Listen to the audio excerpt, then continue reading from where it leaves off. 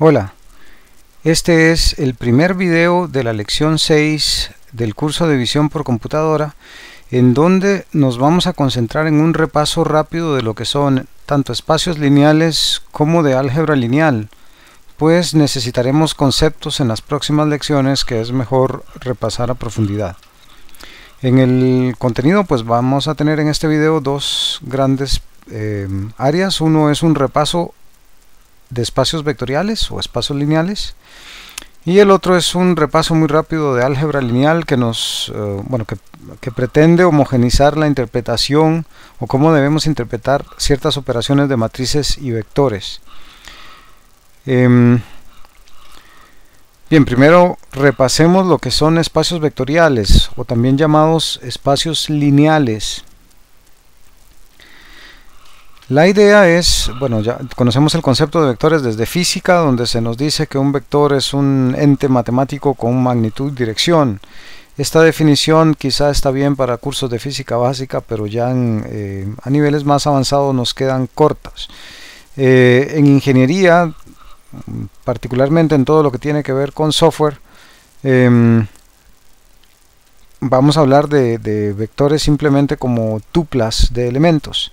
Formalmente un vector lo vamos a considerar como un elemento de un espacio lineal o de un espacio vectorial. O sea, vamos a tener una definición más o menos recursiva, donde un vector es un elemento de un espacio vectorial y un espacio vectorial es un conjunto de vectores. Como les decía, en ingeniería el concepto lo vamos a asociar a una tupla de valores escalares pero que también esto es limitado en bastantes aplicaciones y por lo tanto necesitamos generalizar el concepto en, simplemente como un elemento de un espacio lineal. Ese elemento del espacio lineal, llamado vector, se define de alguna forma sobre un cuerpo eh, algebraico f. Okay, este cuerpo algebraico usualmente va a ser el número de los reales o el número de los complejos. ¿Qué significa que el vector o el espacio vectorial, que es un conjunto de vectores, se defina sobre un cuerpo f. Eh, en realidad esto está dejado a la libre.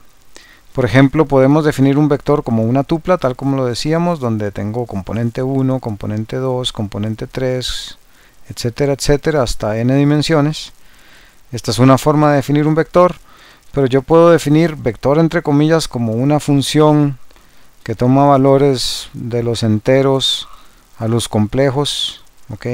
O una función que toma, bueno, aquí por supuesto que esto no está definido en el conjunto de los eh, reales, pero, pero la función puede ser así, puede ser así, eh, de complejos a complejos, o la función puede ser de reales a reales, eh, en general puede ser cualquier cosa, igual aquí los elementos C sub i pueden ser elementos de R o C sub i pueden ser elementos de C, eso es, eh, se deja a la libre por el momento. Em, lo importante en los espacios lineales es tener definidas dos operaciones, lo que vamos a definir como operación suma, que nos permite sumar dos vectores, eh, y esta operación suma tiene que cumplir todas las condiciones de un grupo abeliano. Con eso ya sabemos que lo que queremos decir es que cualquier suma de vectores mm, va a ser cerrada en el sentido de que nos va a devolver un elemento del mismo espacio vectorial. Eh, va a ser conmutativa, va a ser asociativa. Eh, vamos a tener elemento neutro que vamos a llamar a ese elemento neutro el vector 0. O sea que cualquier vector al que le sumamos 0 me da el mismo vector. Em, y tenemos elementos inversos, o sea que va a existir un vector inverso que voy a anotar ahora así como barra, que si lo sumo a, al, a su inverso, esto me va a dar el vector 0. ¿ok? Eh, y ese tipo de características es lo que teníamos o, tenemos cuando decimos que el vector que el, espacio vectorial o, que esta estructura algebraica de vectores y la operación suma es un grupo abeliano. Además tenemos una operación de producto escalar, o sea que nos permite escalar vectores, eh, que va a cumplir varios axiomas. Por ejemplo, eh, vamos a, tener que si yo escalo un vector, me vuelve a dar un vector del espacio vectorial. Si yo escalo un vector escalado es lo mismo que multiplicar las dos escalas eh, por el vector. Si uno es el elemento neutro multiplicativo del cuerpo f que estamos usando, entonces multiplicar un vector por uno no me altera el vector. Y si yo escalo una suma de vectores es lo mismo que sumar los dos vectores escalados. O si yo sumo dos escalas por un vector es lo mismo que sumar eh, el vector escalado por A más el vector escalado por B. ¿Ok?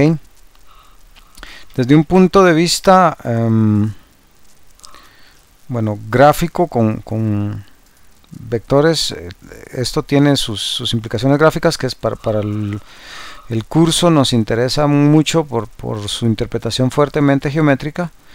Vamos a insertar aquí una hoja para hacer ciertos dibujos.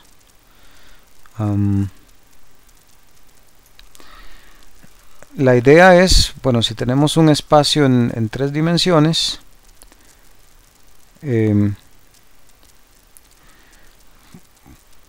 pues nosotros vamos a poder sumar vectores simplemente concatenándolos entre sí, o sea, este vector eh, rojo más este vector eh, cian, pues nos va a dar este vector naranja, ok esto en 2D o en 3D. Eh, ok, esa es la, suma vectorial. Y luego el producto escalar, pues si tenemos un vector como este por acá, y yo lo multiplico, digamos, por un valor de 2, pues me va a dar un vector exactamente en la misma dirección, pero de longitud doble. ¿ok? Esas son las dos operaciones vectoriales y definimos combinación lineal de los vectores simplemente como eh, la suma de, si, tenemos un conjunto aquí, perdón, de, n vectores, la suma escalar, o perdón, la combinación lineal de estos vectores va a ser simplemente tomar cada vector, escalarlo por un coeficiente específico para ese vector, ese primer vector, eh, tomar un segundo coeficiente por el segundo vector, o sea, es tomar todos estos vectores, escalarlos y sumarlos. A eso es lo que yo llamo hacer una combinación lineal de vectores. Em, las constantes o estos coeficientes los vamos a tomar del mismo cuerpo en donde están definidos los vectores. Vamos a decir que un conjunto de vectores o de n vectores como este que está acá es linealmente dependiente si cualquiera de estos vectores, por ejemplo u2 yo lo puedo expresar como una combinación lineal de los otros vectores.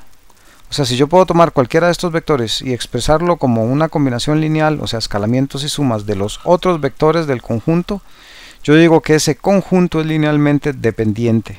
¿Ok? Y digo que es linealmente independiente, o lo que es lo mismo, digo que es libre, si la única forma que yo tengo de lograr que una combinación lineal de estos vectores de 1, 2, o sea, de todos estos vectores que están acá, si la única forma de hacer que esa combinación lineal me dé 0 es haciendo a todos los coeficientes iguales a 0. ¿Ok? Entonces, es libre si, todo, si la única forma de hacer que, su combinación lineal sea 0 es haciendo a todos los coeficientes 0. ¿Ok? Em, ¿Qué consecuencias tiene la independencia lineal? ¿Ok? Un conjunto que solo tenga un vector va a ser libre o linealmente independiente solo si ese vector no es nulo. Observen que si el vector fuera nulo, entonces si mi u1, que es el único vector en el conjunto, fuera 0, entonces yo lo puedo multiplicar por cualquier otra constante que me va a seguir dando 0.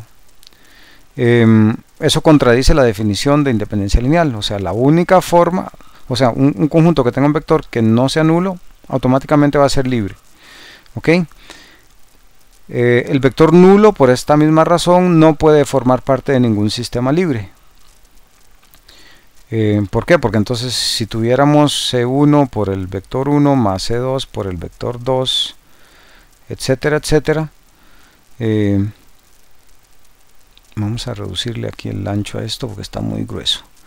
Hasta Cn por el vector n Vean que si alguno de estos fuera 0, esta constante puede ser diferente de cero y si yo hago que todos los otros sí me sumen cero, entonces también contradiría la definición. O sea, recuerden que la única forma en la que yo podría hacer que esto de cero, si el conjunto de vectores es linealmente independiente, es haciendo todas las constantes cero. Y si uno de los vectores del conjunto fuera cero, ya hay varias maneras de hacer eso. Entonces, em, por eso es que el vector nulo no puede formar parte de, ningún sistema libre o, sistema linealmente independiente. Si yo tengo ya un subconjunto que es linealmente independiente, pues el subconjunto también, eh, vamos a ver, creo que lo formulé mal. Si yo tengo un conjunto que es linealmente independiente y tomo un subconjunto de esos elementos, ese subconjunto también va a ser linealmente independiente. Creo que es claro ver por qué. Em, el número máximo de vectores que tendremos en un sistema linealmente independiente es lo que vamos a conocer como la dimensión de dichos vectores. Por ejemplo, usando vectores geométricos, eh, asumamos que este plano que estamos viendo es eh, está bueno es de dos dimensiones yo puedo mm, tomar estos vectores digamos que estos son mis vectores canónicos a esto llamémosle el vector 0, 1 y a esto llamémosle el vector 1, 0. Ok. Em, yo no puedo conseguir otro vector en estas dos dimensiones que no se deje expresar como una combinación lineal de estos dos. O sea, cualquiera, yo aquí voy a tener una coordenada A y una coordenada B, y este vector va a ser la combinación lineal de A por 1, em, 0, más b por 0,1 ok entonces este número de vectores en, linealmente independientes el máximo número que pueda tener en mi espacio eh, me determina la cardinalidad de ese conjunto cuál es la dimensión del espacio. Bien em, cuando tengamos un conjunto de vectores, este conjunto de vectores vamos a decir que engendra eh, un espacio. ¿Ok? ¿Cómo engendramos el espacio? Simplemente tomando el conjunto de todas las combinaciones lineales de estos vectores. ¿Ok? Entonces a este conjunto de vectores lo vamos a llamar el conjunto generador. Em, en inglés, y esto es importante por la literatura que estamos leyendo, casi siempre van a, ver que el conjunto de vectores, the set of vectors, va a, engendrar el espacio que en inglés se dice to span a space. Entonces, ese término, particularmente en este, en este contenido del curso, va a estar apareciendo muchísimo en la literatura técnica para tener eh, bueno, el concepto de que to span a space significa engendrar el conjunto de vectores. Eh, eh, perdón, engendrar el espacio vectorial con un conjunto de vectores. Bien, cada uno de estos vectorcitos, U1, U2, hasta UN, a esto los vamos a llamar eh, vectores generadores del, del, espacio V. Bien, ese espacio engendrado por los vectores no va a variar si tomamos alguno de estos vectores eh, y lo reemplazamos digamos por, una constante alfa multiplicando por un mismo. O sea si, nada más escalo alguno de los vectores no va a cambiar. Eh, si reemplazamos digamos u2 lo reemplazamos por por yo que sé la suma de 1 más u3 si hacemos ese tipo de reemplazos tampoco va a cambiar. Em, y si en este conjunto que tenemos aquí tenemos, o sea, si este conjunto no es libre o, es linealmente dependiente, si tomamos todos los vectores que pueden ser expresados como una combinación lineal de los otros, digamos si U2 se puede expresar como eh, U1 más U3, entonces si eliminamos esto, pues se va a mantener el, mismo espacio vectorial, se va a engendrar el mismo espacio vectorial. Eh, bien, otro concepto importante es el concepto de subespacio. Cuando tenemos un espacio vectorial V o lo que podríamos decir el bueno sí aquí un espacio engendrado por algún por algún conjunto de vectores si nosotros tomamos solo un subconjunto de los vectores que engendran este espacio vamos a engendrar un subespacio o sea em, visto de otra forma el, subespacio va a ser un subconjunto de, de vectores del espacio V que también se comporta como un espacio vectorial. O sea, eh, V, perdón, W, junto con las operaciones suma, y aquí voy a usar cruz, aunque no es exactamente correcto, pero para tener, utilizar algún símbolo, eh, usemos cruz para el producto escalar, entonces el, el espacio aquí W con suma y producto escalar, esto es una estructura algebraica Em, que eh, em, es, un espacio lineal por sí mismo. ¿Ok? Entonces cuando eso ocurre, cuando tengo un espacio vectorial y tomo un subconjunto de vectores que se comportan a su vez como un espacio vectorial, yo, yo digo que W es un subespacio de V. Un ejemplo claro va a ser, digamos, si tenemos aquí el espacio 3D, tenemos X, Y, Z, entonces, por ejemplo, el subespacio eh, de todos los vectores que se encuentran en el plano XY, eso sería un subespacio del espacio vectorial 3D. ¿ok? Porque cualquier suma que yo haga de dos vectores aquí adentro, pues me va a dar un vector en el mismo plano. Eh, cualquier escalamiento que yo haga aquí me va a dar en el mismo plano. Eh, o sea, todos los, estos vectores dentro del XY se comportan como un espacio, por lo tanto es un subespacio de todos los vectores en el espacio 3D. Em, bueno, por definición vamos a decir que cualquier espacio lineal o espacio vectorial V va a tener al menos dos subespacios, que es el mismo vector V y un subespacio que contiene única y exclusivamente al vector 0.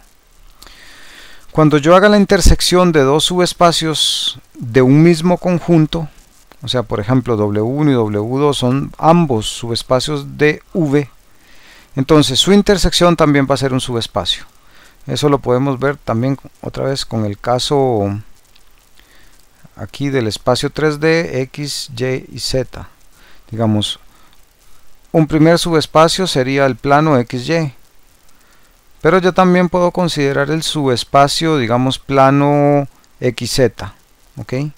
Entonces aquí tendríamos un plano. Voy a tener una intersección de estos dos que será exactamente el eje Y. ¿Ok? Eh, perdón, el eje X. Em, vean que cualesquiera dos vectores que ustedes tomen en el eje X, ok, un vector aquí, yo lo puedo sumar, es otro vector de otra longitud y siempre me va a dar un vector exactamente sobre el eje X. Entonces es cerrado y yo puedo escalar esos vectores y me va a quedar siempre un vector en el eje X. O sea, el eje X en sí mismo es un subespacio del espacio en 3D okay, que podemos llamarlo así euclidiano al espacio R3 entonces el espacio R1 es un subconjunto de R3 eh, y lo podemos considerar aquí espacio vectorial si lo consideramos junto, o sea no consideramos a R solito, sino consideramos a R como una estructura algebraica que tenemos la suma y el producto escalar o sea, vectores de una dimensión, por decirlo así. Ok. Em, sin embargo, vean, usando ese mismo ejemplo, podemos ver fácilmente que la unión de dos eh, eh, subespacios no necesariamente es un subespacio. Por ejemplo, la unión de este subespacio con este otro subespacio no es un subespacio, porque vean que yo puedo tomar un vector que se encuentre perdón un vector que se encuentre aquí yo lo puedo tomar y sumar con otro vector que se encuentre por acá y el resultado me va a dar en algún lugar en 3D que no está ni en el subespacio eh, que sería este xz ni en el subespacio xy entonces por eso la, la, unión de dos subespacios no es un eh, subespacio Quizá uno de los conceptos más importantes es el concepto de base de un espacio vectorial. Eh, la base es un conjunto de vectores que me engendran ese espacio. Pero la característica que tiene que tener la base, eh, que, es lo que la define como base, es que esos vectores son linealmente independientes. O sea, eh, una base de vectores es un conjunto generador, o sea, un conjunto que me engendra un espacio, y ese conjunto es linealmente independiente. Em, entonces, cualquier espacio lineal siempre va a tener al menos una base. Y si hay varias bases, todas van a contener exactamente el mismo número de vectores generadores. Y de hecho, ese número de vectores es lo que vamos a llamar la dimensión del espacio lineal. Por ejemplo, yo puedo considerar cualquier cantidad de pares de vectores que me engendran em, este espacio y que son linealmente independientes. ¿Ok? Entonces, por ejemplo, el plano con cualquiera de, esos pares de vectores, cada uno con su mismo color, está engendrado por estos dos vectores, pero siempre van a ser dos. Si yo, si yo tengo tres vectores, eso es un conjunto generador del espacio, pero no es una base. La característica de la base es que tiene que ser linealmente independiente. Entonces entramos al teorema fundamental del álgebra lineal. Y es que precisamente toda base de un espacio lineal o espacio vectorial V va a tener exactamente n elementos si este espacio tiene n dimensiones. ¿ok? Entonces, n elementos, n dimensiones. Todo subconjunto que sea linealmente independiente de V, ¿ok? Cualquier, subconjunto de vectores de V que sea linealmente independiente por fuerza puede tener como máximo n elementos. ¿ok? Y si tiene exactamente n elementos, entonces ese conjunto va a ser una base de V, o sea, un conjunto que lo engendra. Ahora, cualquier subconjunto de V que, puede, que, que pueda generar a V va a necesitar como mínimo n vectores. Esto va a ser importantísimo. Em, en el siguiente video, que también es una especie de repaso, aunque tal vez no, sea una materia conocida, de, descomposición de valores singulares, para entender en una matriz quién es el espacio nulo y quién es el espacio columna. ¿ok? Entonces, cualquier subconjunto de v que queramos que engendre al vector v va a tener que tener al menos n vectores. Y si tiene exactamente n vectores va a ser una base. ¿ok? Y este también es un punto importantísimo que nos vamos a enlazar a él para, el tema que sigue. Es que si yo tengo una base de V, o sea un conjunto linealmente independiente de vectores que me engendra a V, si yo tomo los vectores de esta base en un orden preestablecido, en un orden determinado, entonces cualquier vector de V yo lo voy a poder representar como una sucesión muy particular de coordenadas. O sea, por ejemplo, mi vector v o mi base va a estar conformada por u1, u2 y u3, digamos, en tres dimensiones. ¿Ok? Entonces yo, si yo siempre digo u1 va a estar en la primera posición, u2 en la segunda y u3 en la tercera, yo sé que mi u yo lo voy a poder representar única y exclusivamente con los coeficientes C1, C2 y C3 porque voy a sobreentender que en realidad el vector que yo quiera representar va a estar dado por C1 por U1 eh, más C2 por U2 más C3 por U3 ok entonces lo, que me dice este último elemento es con estas coordenadas basta para que yo represente un vector siempre y cuando yo por convención defina qué vector es qué. Y de hecho vean que en física esto siempre se usa. Cuando ustedes les dan un vector, siempre se asume que la primera coordenada es dirección X, la segunda dirección Y, la tercera dirección Z, o I, J y K, también se les definen a esos vectores unitarios que conforman una base del espacio 3D. Eh, entonces se, ya se estandariza, por decirlo así, quién es quién y eso es lo importante. Em, Bien, esto es lo que les explicaba.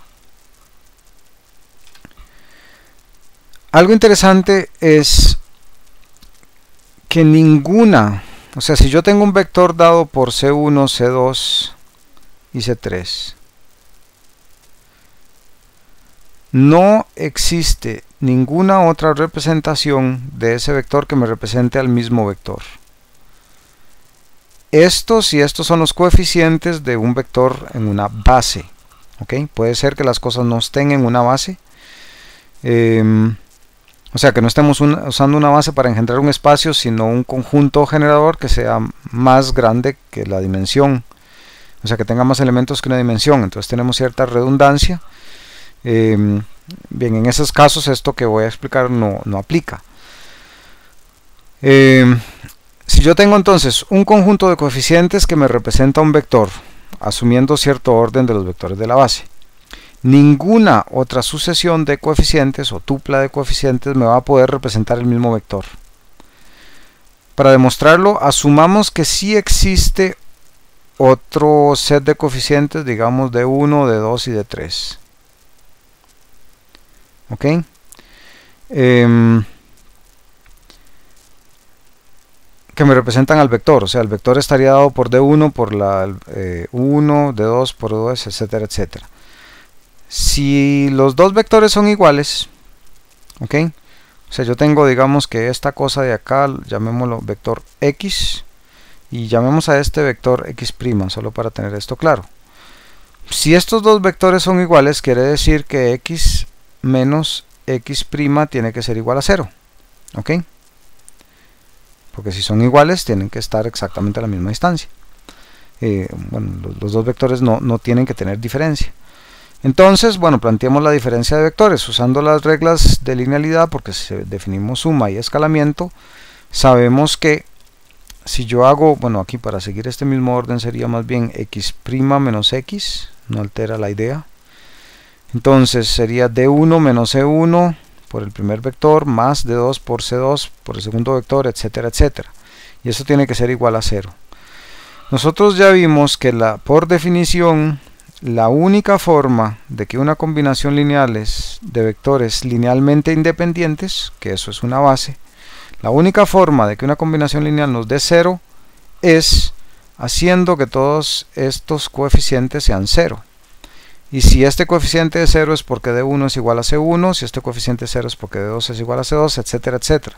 Y por lo tanto la única forma de que este vector sea igual a este es que sus componentes sean exactamente iguales.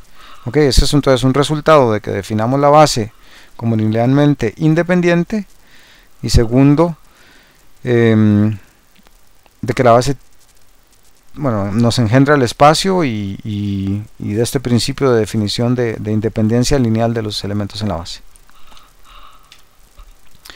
Bien, ese es el repaso que quería hacer de espacios lineales. Pasemos ahora a repasar un poco álgebra lineal. Em, nosotros estamos usando la definición de vectores como columna. ¿okay? Siempre vamos a representar, bueno ya lo hemos estado haciendo en el curso, el vector con, con negrita y subrayado para que nos quede fácil cuando escribimos a mano de notar que es un vector. Y este es un conjunto de componentes. De hecho vean que ahora esto ya le estamos asignando una cierta semántica que esto es lo que me dice este, esto es x1 por un vector u1 de una base que me engendra el espacio vectorial de donde estoy tomando a x. Esto es x2 eh, es quien multiplica un vector u2, x3 multiplica un vector u3, etcétera, etcétera, hasta xn que multiplica un vector un. O sea, estas son simplemente las componentes de eh, que me están haciendo una combinación lineal de vectores en una determinada base. Em, cuando uno no conoce la base, uno simplemente asume lo que se llama una base canónica y es que u1 va a ser igual a 1, 0, 0 y aquí ceros hasta n ceros. ¿ok? U2 va a ser mi vector de base canónica sería 0, 1, 0, hay ceros hasta el final, etcétera, hasta que un sería 0, 0 y puros ceros, excepto al final que tenemos un 1. Ok, entonces estos son nuestros vectores eh, de la base que llamaríamos base canónica, pero esto no tiene por qué ser así. Em, de hecho, el, detalle que tenemos en, el objetivo principal de esta clase es ver estimación de pose. Y estimación de pose es simplemente tengo vectores dados en una base canónica determinada y yo quiero determinar ese mismo vector en otra base canónica. Eh, perdón, en otra base, no canónica. Em, que, nos estamos moviendo de un, de un sistema de coordenados en el mundo real, por decirlo así, nos estamos pasando a un sistema de coordenados en eh, en relación a la imagen que tenemos de, ese mundo real. Bien.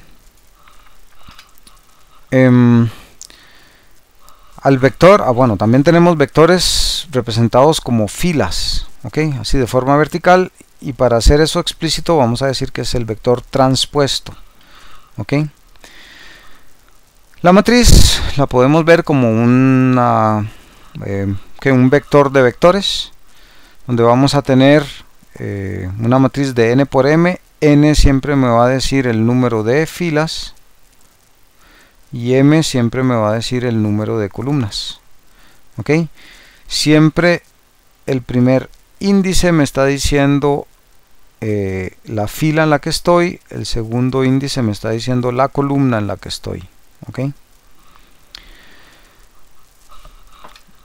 Bien, las matrices en realidad, bueno, les, acabo de comentar, las podemos ver como vectores de vectores y en efecto así es como los vamos a estar interpretando.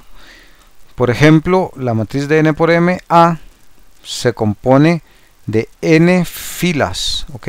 Esto es un vector y nosotros, ok, vean que este es el, vector de la fila 1. Vamos a usar esta notación para denotar que es la fila. El, vean que dice es un vector, por eso está en negrita y subrayado. Y aquí estamos poniendo 1 punto para indicar que es la primera fila y cualquier cosa en la columna. ¿Ok? Bueno, si aquí tomamos todos los valores de la columna. Y transpuesto para indicar que estamos en una fila. También podemos interpretar la matriz como vectores columna. ¿Ok? Entonces, por ejemplo, tomamos aquí una columna. Esta columna Mm, de notación similar. Bueno como es columna ya no, no necesitamos el transpuesto. Tenemos en, los subíndices un punto que indica que puede ser cualquier fila y en la segunda posición nos está indicando la columna 2 ok entonces vean que cuando veamos esto lo, tenemos que imaginarnos una matriz de columnas. Cuando veamos esto tenemos que imaginarnos una matriz de filas ok bien Em, podemos ver al vector por supuesto también como un tipo particular de matriz. Si tenemos un vector fila, pues entonces tenemos un vector de 1 por n. ¿ok? Si tenemos un vector columna, vamos a tener un vector de n por 1.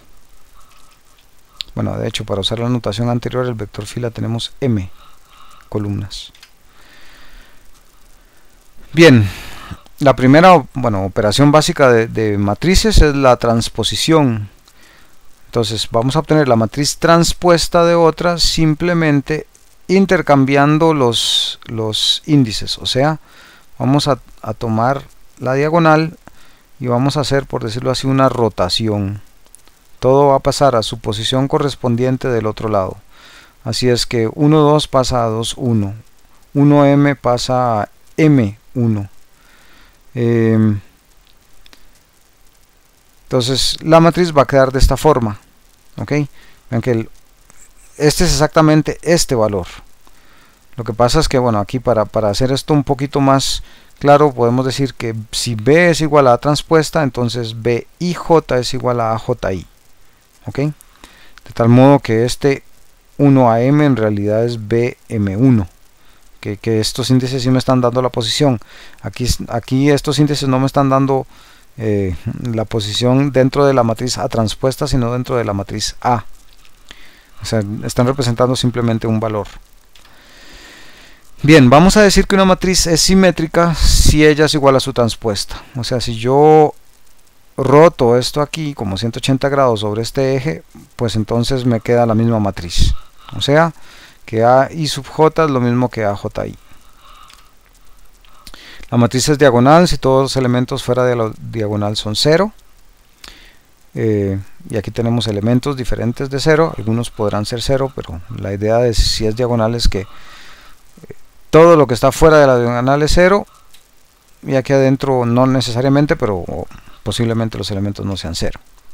La matriz de identidad es una matriz diagonal con todos los elementos de la diagonal iguales a 1. Una matriz triangular superior es una matriz diagonal en la que los elementos de este triángulo que está por acá no necesariamente tienen que ser 0. Estos de este lado sí tienen que ser 0. Eh, matemáticamente, bueno, i sub j es igual a 0 para todo i mayor que j.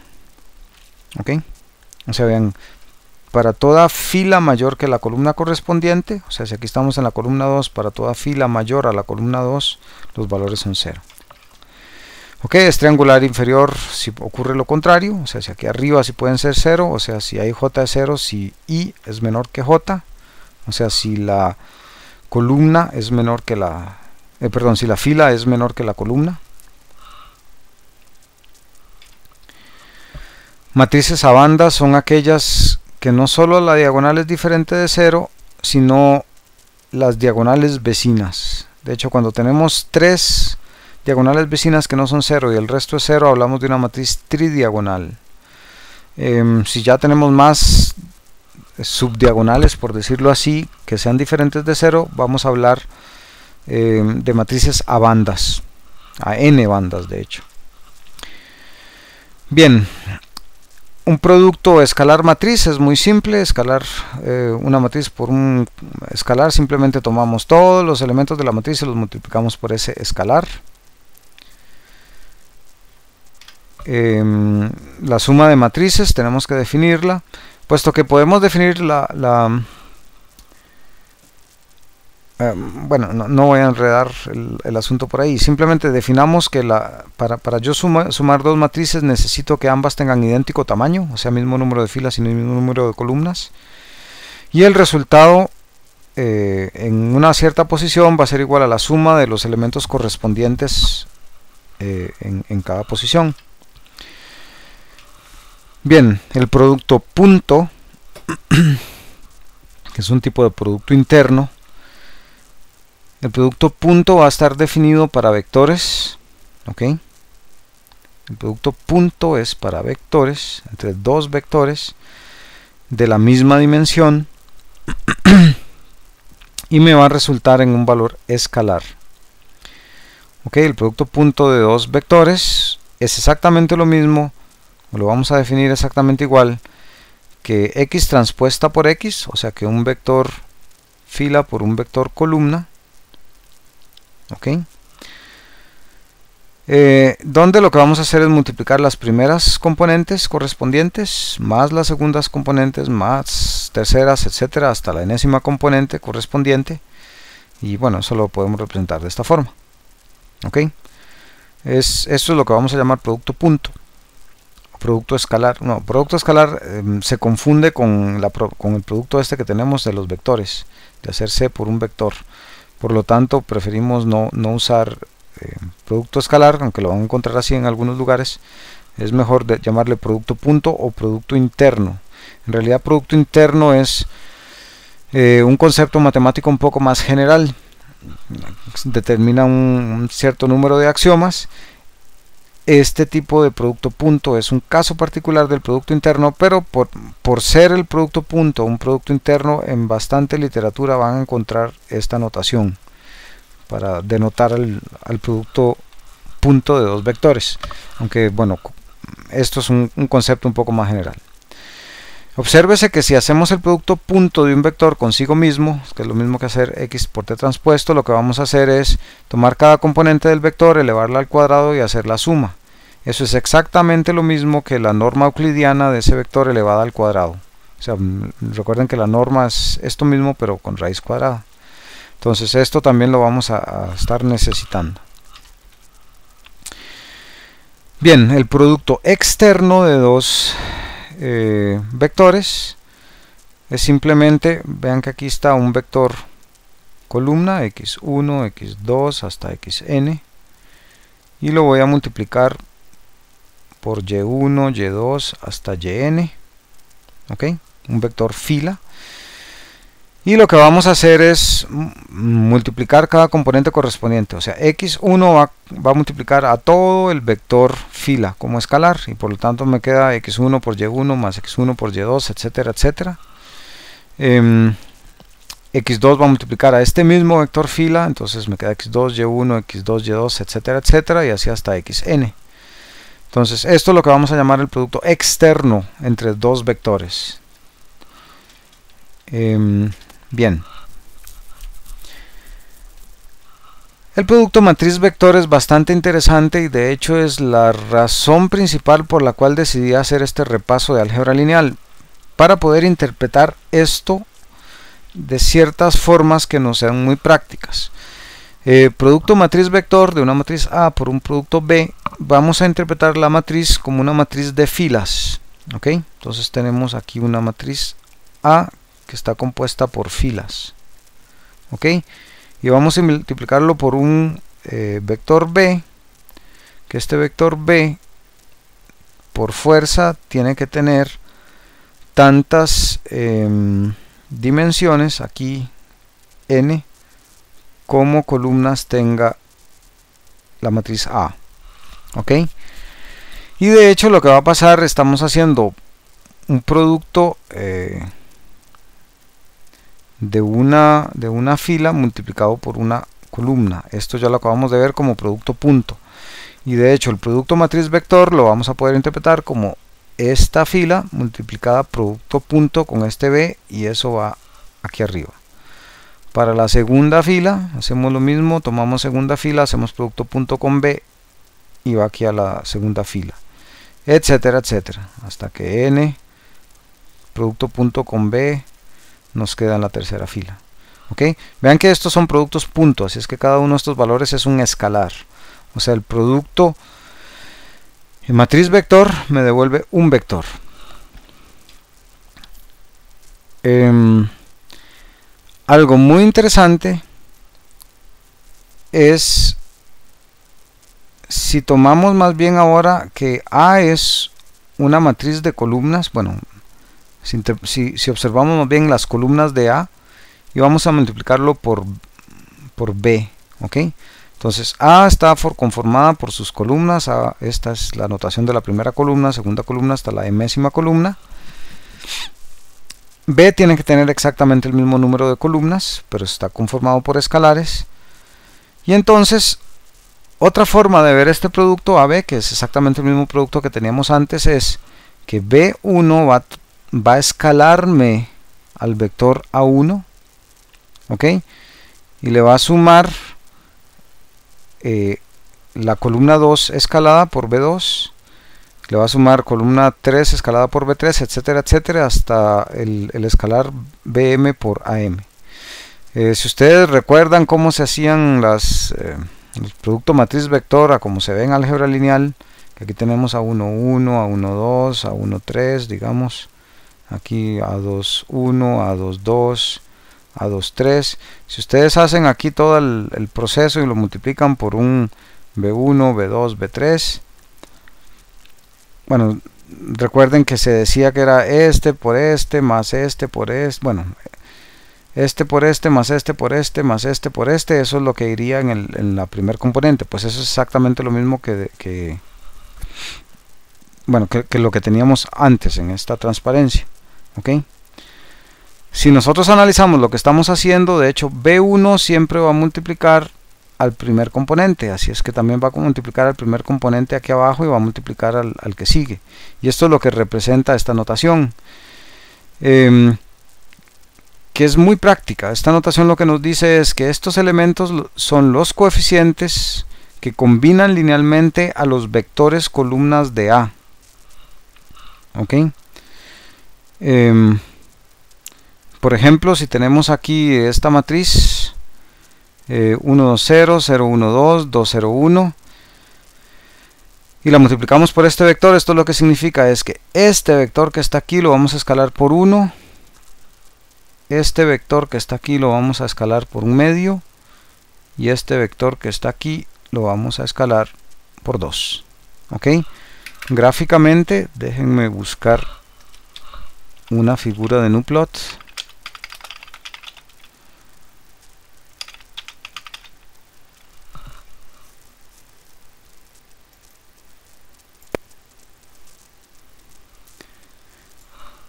Aquí tenemos una representación gráfica, bueno, 1, 2, 0.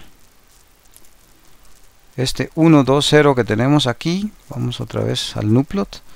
Vean que tenemos 1 en la componente X, 2 en la componente, sería 1 en la componente X, 2 en la componente Y, 0 en la componente Z. Este es este C1, la columna 1.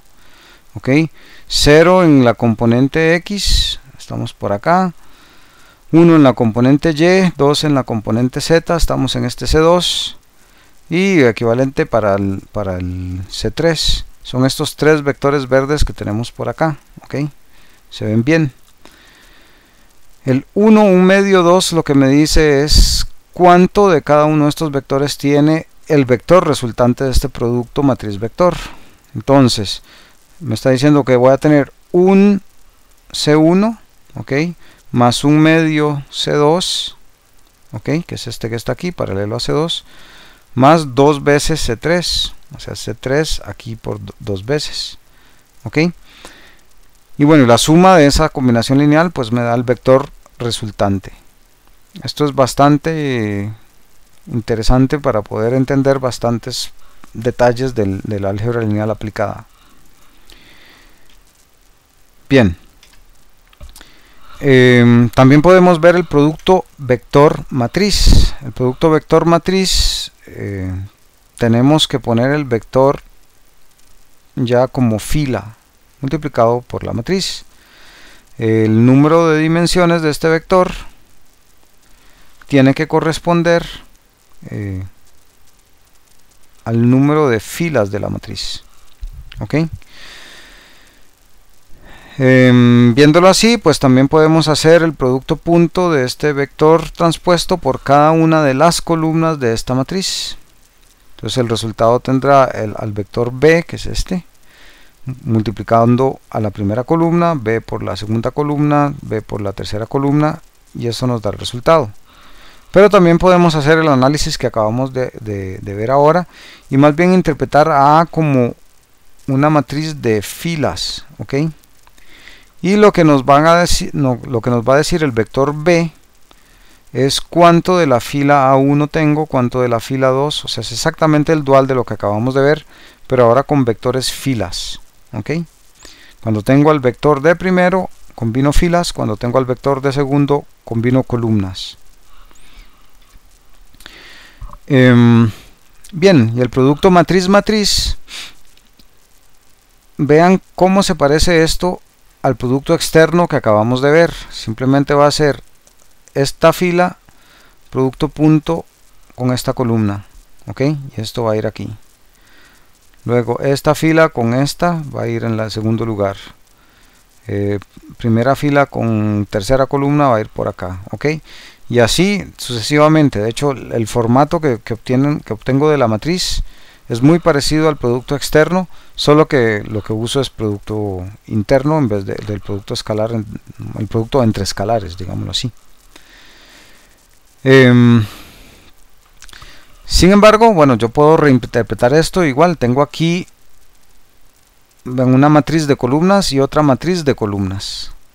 Entonces, el resultado lo que voy a hacer es, veámoslo por este lado por ahora, lo que voy a hacer es tener aquí un vector que lo que me dice es cómo debo combinar linealmente a estas columnas ok bueno y eso ya lo vimos es este producto matriz vector este otro me dice cómo debo combinar linealmente estas columnas y esto es lo que voy a tener aquí en, este, en esta columna del resultado etcétera etcétera. O sea las columnas de esta matriz yo las puedo interpretar como combinaciones lineales de las columnas de la matriz A. Eh, cuánto de cada uno de estos vectores debo tener me lo dicen los vectores B.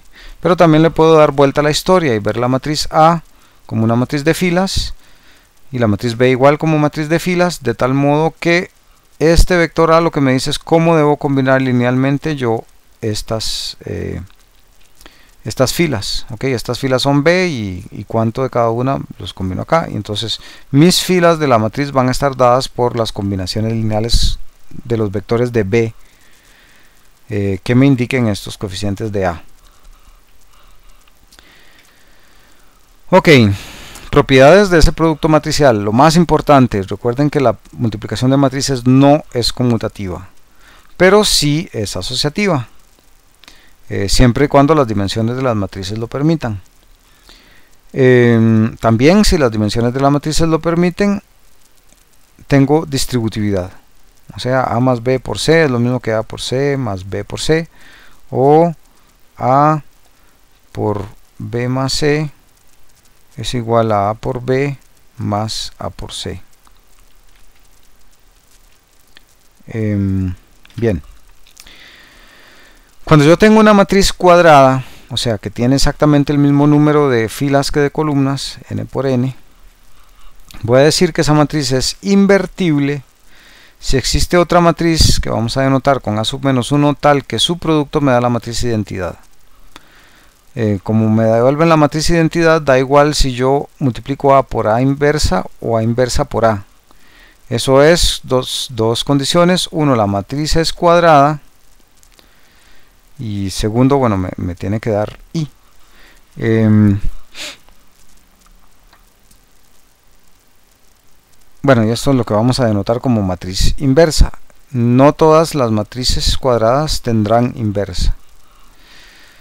Em, bien, vamos a decir que una matriz es ortogonal si se cumple que su inversa es la matriz transpuesta. Por lo que acabamos de ver, entonces esto implicaría que la matriz transpuesta por A es lo mismo que A por la matriz transpuesta, que es igual a la matriz identidad. ¿Ok? Em, observen aquí que A transpuesta, bueno, A por A transpuesta, que va a ser lo mismo que A transpuesta por A, pero si lo vemos como A por A transpuesta, lo que vamos a tener aquí es, em, bueno, las filas de A, ¿ok? Y en la transpuesta aquí vamos a tener las columnas de A, de hecho podemos verlo como las, oh, perdón, podemos verlo como las, em, de hecho aquí esto debería ser transpuesto en el sentido bueno, es que tenemos la doble transposición. Esto no es, no quiero decir la columna de A, quiero decir en realidad... Eh, ah, no, pero de hecho está, vean los, los subíndices, aquí es donde se nota lo, que quiero decir. Em, esta es la, la, fila de A, ¿ok? Fila 1, cualquier columna, ¿ok? Está transpuesto porque es así. Aquí este A1 es la columna, pero sin embargo vean que la notación es diferente a lo que hemos venido usando. Me está diciendo que es la primera, eh, la primera fila, cualquier columna. Pero lo estoy poniendo en la columna, o sea, es este vector transpuesto. Eso por la forma en la que, en la que estamos aquí escribiendo la A transpuesta. Entonces igual, este elemento es este transpuesto, exactamente como está ahí. Si hacemos eso, bueno, la columna bueno, vamos, vamos a tener aquí em, este vector por este vector. ¿Ok? Esto es un poco extraño, estamos usando la, notación contraria de poner aquí, eh, bueno, 1 y, lo que sea, porque usualmente cuando tenemos esta configuración aquí va el transpuesto. Pero en todo caso, lo, lo interesante aquí es, bueno, vean estos productos punto. Resulta que si la matriz es ortogonal, entonces sabemos que, la transpuesta es la inversa, lo que quiere decir que esta cosa tiene que ser igual a la matriz identidad. Eh, si esto es la matriz identidad, quiere decir que todo esto es 0, todo esto es 0, ¿ok? Todo excepto esta diagonal es 0. De hecho aquí hay un error, esto tiene que ser n. Em, bien, ¿y qué quiere decir eso? Nosotros sabemos que el producto punto de dos vectores da 0 si solo si ellos son ortogonales. O sea, esto quiere decir que, que las filas de la matriz entre sí son ortogonales y todo este análisis lo podemos repetir con columnas. Eh, entonces, y vamos a llegar a lo, a lo, mismo. Entonces, de hecho, la matriz se llama ortogonal en el sentido de que todas sus columnas son ortogonales entre sí y todas sus filas son ortogonales entre sí. Bien, el concepto de determinante lo vamos a ver rapidito porque ese todavía no lo, no lo vamos a necesitar, aunque bueno, lo pueden repasar en, en otros lugares. La matriz de la determinante podemos definirla de varias formas. Eh, la más fácil quizás es definir ah, mm, la determinante de una matriz de 2 por 2 como estos dos multiplicados menos estos dos multiplicados. ¿ok? Eh, y eso es lo que vamos a definir como matriz determinante de, de 2 por 2. Cuando ya subimos de orden de matrices, también necesitamos que las matrices sean cuadradas. Eh, vamos a denotarlo ya sea con valor absoluto de A o como determinante de A. Eh, bien, lo que necesitamos es en, tomar los elementos de la matriz en una determinada fila o columna y multiplicado por la determinante de la matriz adjunta, donde la matriz adjunta va a estar definida por menos 1 a la f más j, donde f más j son eh, los índices de esta matriz adjunta, multiplicado por mfj, donde mfj es el menor complementario de AFJ, que es el menor complementario. Si esto es AFJ, eh, entonces vamos a eliminar la fila y la columna de la matriz de AFJ y nos va a quedar una matriz de n-1 y por m-1 ok que solo tiene los elementos restantes aquí arriba acá y acá ok entonces lo que vamos a, calcular es eh, recursivamente, por decirlo así, la, determinante de esa historia. Es un algoritmo bastante complejo matemáticamente o, computacionalmente y entonces de hecho se, evita buscar determinantes. Algunas propiedades de determinantes importantes. Si yo le saco la determinante a una matriz, recuerden que esta matriz tiene que ser cuadrada, va a ser de n por n. Si yo le saco la determinante a una matriz que multiplico por s, me va a salir s al cuadrado de la determinante. La determinante de la matriz de identidad es 1. Eh, la determinante de un producto de matrices es el producto de las determinantes. Y puesto que la determinante de la matriz de identidad es 1, quiere decir que la determinante de una matriz que multiplica a su inversa también por fuerza tiene que ser 1.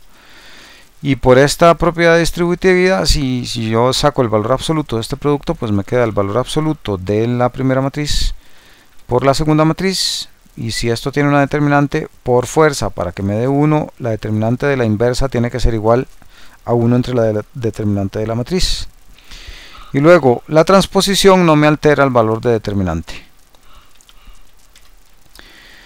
la traza de una matriz es la suma de los elementos en la diagonal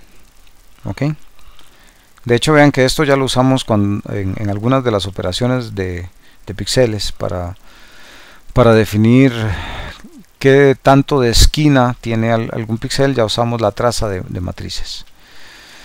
Eh, bien, supongo que ya esto también lo conocen, que un sistema de, ecuaciones lo puedo representar de forma matricial mucho más, de forma más compacta, una matriz por vector x igual b.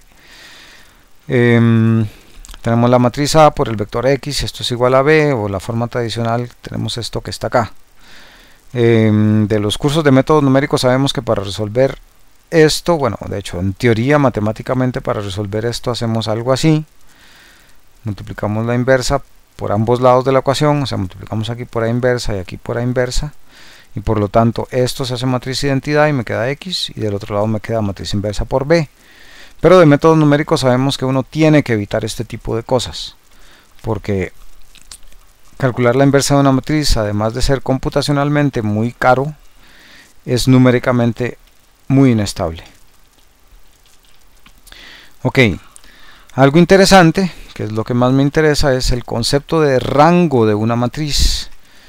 Que el rango de una matriz lo podemos entender ahora más fácil ya que vimos la, concepción esta de que este vector que está haciendo aquí x, lo que me está haciendo es combinándome linealmente las columnas de esta matriz.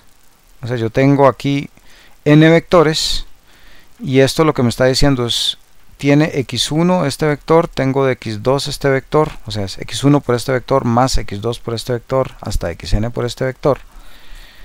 Ok, entonces, esto que está aquí eh, son los coeficientes de una combinación lineal de estos vectores que están acá.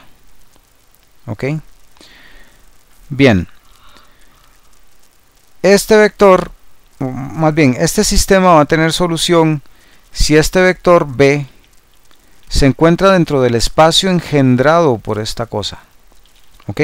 O sea, si yo tengo estos vectores de la matriz A y yo engendro un espacio, esta cosa va a tener solución o este sistema de ecuaciones tiene solución si y solo si el vector B se encuentra dentro del espacio que engendran estos vectores.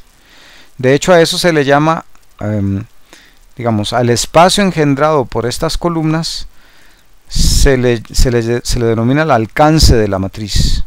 ¿Ok? Em, en inglés, de hecho, el alcance de la matriz lo van a encontrar como range, el, matrix range, matrix range. Bien, eh, la dimensión real de dicho alcance es lo que vamos a llamar el rango de la matriz, o en inglés rank. ¿Ok? ¿Qué quiero decir con esto? Vean que uno puede tener mala suerte y algunos de estos vectores se pueden representar como una combinación lineal de los otros. ¿Ok? Entonces esos vectores son innecesarios eh, cuando yo quiera utilizar una base.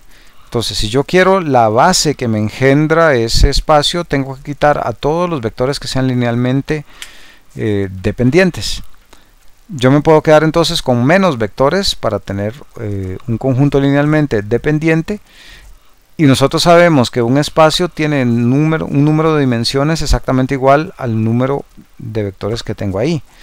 Em, de hecho esto es interesante porque por ejemplo si, si estuviéramos con sistemas de, ecuaciones de x, y, z ¿ok? entonces yo aquí tengo tres vectores eh, tres vectores columna ok. Cuando yo multiplico esto ahí llego a un, bueno eso me debería dar algún b por aquí.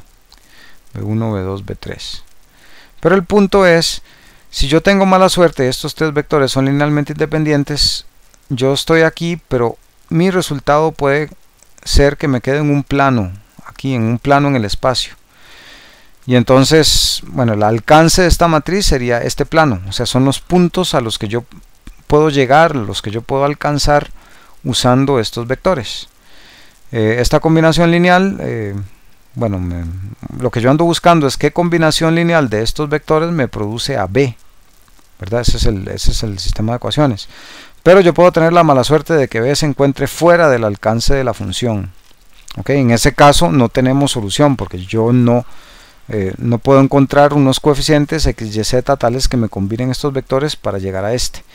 Entonces, a pesar de que yo tenga aquí vectores con tres coordenadas, el espacio que me engendran puede tener dos dimensiones, o sea, me pueden engendrar un subespacio del espacio en tres dimensiones. Y, mm, bueno, hay que, hay que poder lidiar con esto.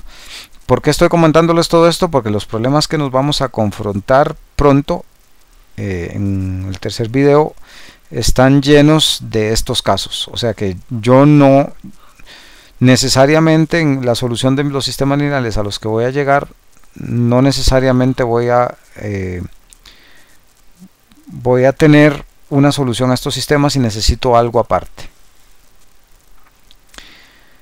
Eh, bien esto que estoy planteándoles aquí es ha sido bueno se los expliqué con las columnas eh, y un vector aquí de los pesos de las columnas.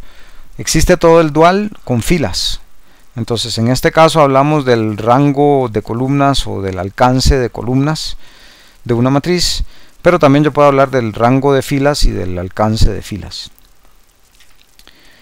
Bien, en este video un poco largo eh, repasamos espacios vectoriales y repasamos álgebra lineal para estar seguros de que todos eh, estamos claros con, los términos que vamos a usar en las próximas lecciones.